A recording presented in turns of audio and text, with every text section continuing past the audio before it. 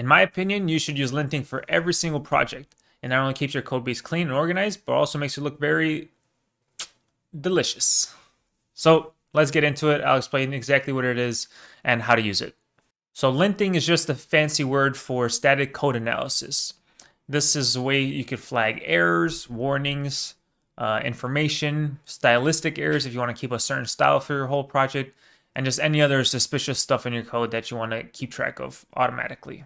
So how do you have your code aesthetically analyzed while you're working in your project? Let's go through it together. So here we have a brand new Flutter project, just the main.dart. We can remove all the comments. And it's a very simple starter project that you get. So first things first, we need to add an analysis options.yaml file. This is pretty much where you will define all your linting rules or all the static analysis rules that you want your code to follow. Now, before we go too deep into creating our own analysis options file, let's go through some packages that really make it easy for you. So if we go to pub.dev and type in lint, you'll see there's a ton of options for linting. Some of the top options I know is the linter package, which has pretty much all the lint rules, and this package is not intended to be used directly. So you can just make sure to check this for every single lint rule that you can have. Then we have the pedantic package, which is the Dart analyzer settings that and best practices used internally within Google. So this is what Google uses for their Flutter project. Then there's effective Dart, very good analysis. These are very popular and widely used. But my favorite one is definitely the lint package by Pascal Welsch. This package is the one that I've been using for all my projects pretty much, and I don't know, I really like it but uh, any of them are great. So in order to use a package, all you have to do is import it like any other package. So here now we have lint 1.5.3. Then you just have to include this in your analysis options.yaml file like that, save it, and now you should see some analysis pop up. So let's see that again. If we remove that, save it, you see there's no problems detected in your workspace. But if we add it in and save it, you will see three problems pop up. So each of these problems, you'll see an associated Dart prefer const constructors in immutables. This is the actual rule defined by Dart. There's actually a website called linter or dartlang.github.io linter lints that gives you a list of all the type of rules that Dart supports. So you can go through these one by one and select which type of rules you'd like to have in your project. For example, Maybe you want to avoid throwing in the finally block. If this is something you want, make sure to add that into your project. So the ones inside this lint file is like one type of style that I guess is popular among the community and that a lot of people use. So you see, you'll get things like this pop up. For example, like preferred constant constructors. Then you do this and your problem goes away. This will make your code slightly faster, I believe, and compile into a little smaller and um, that's why this rule is preferred. Now I'll go over how you can adjust this package to your own liking, but at the end I'll show you how I do it so that I have full control over everything. So let's say we don't want this prefer const constructors in immutables rule to show up for us.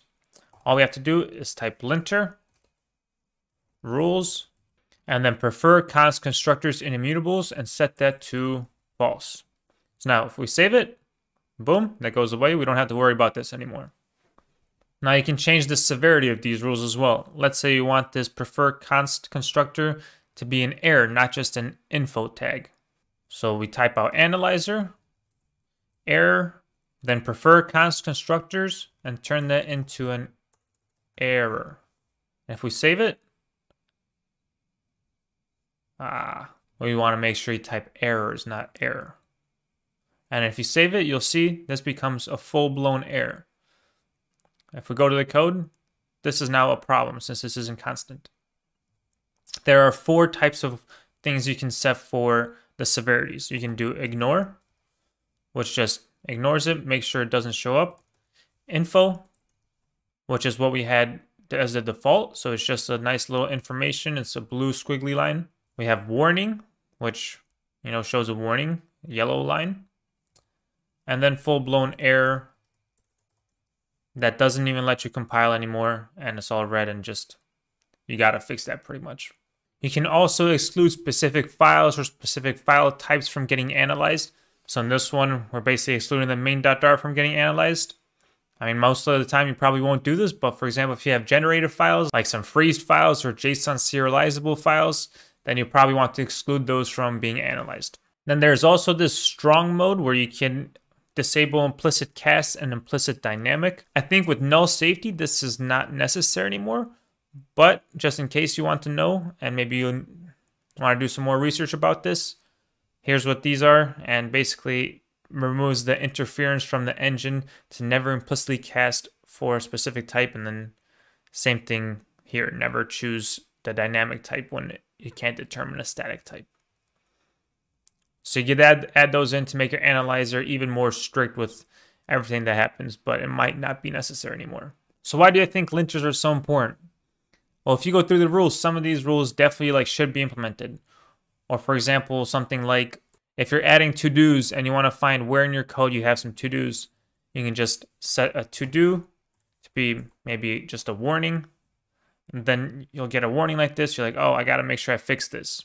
Maybe you just want it to be an info somewhere that so you don't forget to fix your to-dos. And there's a ton of useful rules out there that you can use.